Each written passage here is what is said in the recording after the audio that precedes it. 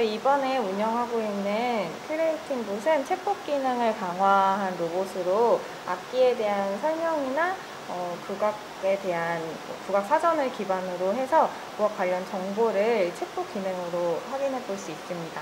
시연해 보겠습니다. Hi 큐아이 잠시 후 이 소리가 나면 말씀해 주세요. 가야금이 뭐야? 국립국악원의 가야금 악기 정보입니다. 재생 버튼을 누르면 가야금 연주를 들어보실 수 있어요. 재생 버튼을 누르시면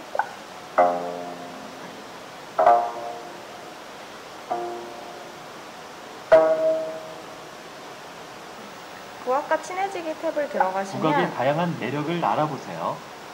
우리음악 감상하기와 악기 이야기 듣기 두 가지로 분류가 되는데요. 먼저 우리음악 감상하기 같은 국악의 종류에 경우에는 대해 얼마나 알고 계신가요? 한번 우리나라 국악을 알아볼까요?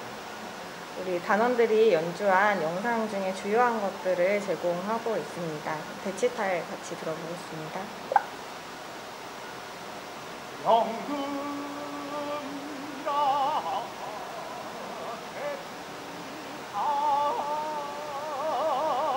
제가 이번에 curating 봇을 제작할 때 국악사 연표를 조금 더 재미있게 들려주고자 기획을 했는데요. 국악의 역사 국악의 들려주면 역사를 제가 직접 동행하며 해설해 드릴 수 있어요. 듣고 싶은 이야기를 선택해 주세요. 어, 시기별로 주요했던 국악의 이야기들을 들어볼 수 있습니다. 먼저 우리 민족과 음악 이야기를 들어보겠습니다. 그럼 나중 건 옛날로 떠나볼까요? 저를 따라오세요. 국악박물관에서 아름다운 우리 음악 많이 보고 들으셨나요?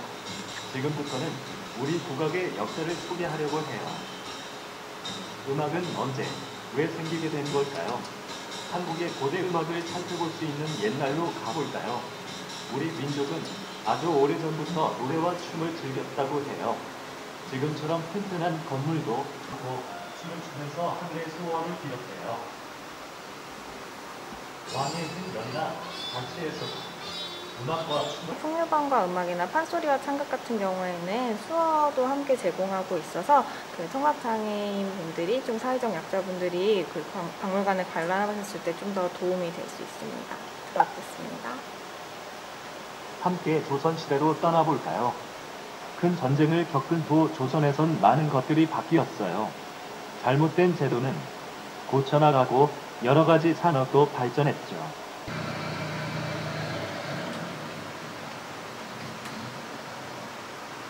충전기에 들어가는 중입니다. 잠시만 뒤로 물러서 주세요.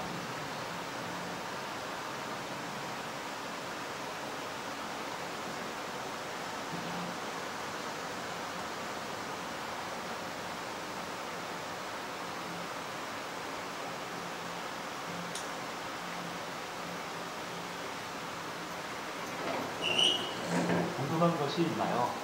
저에게 물어보세요.